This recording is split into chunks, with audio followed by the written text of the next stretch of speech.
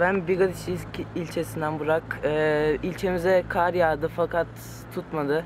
Hafta sonu e, güzel olurdu. Kar topu oynardık fakat e, şans gereği yağsa güzel olurdu. Zaten fazla kar tutan yer değil. E, Dağlarımıza yağdı ama çıkabileceğimiz bir yerde değil. O yüzden oynayamadık ama yarın yağmasını bekliyoruz.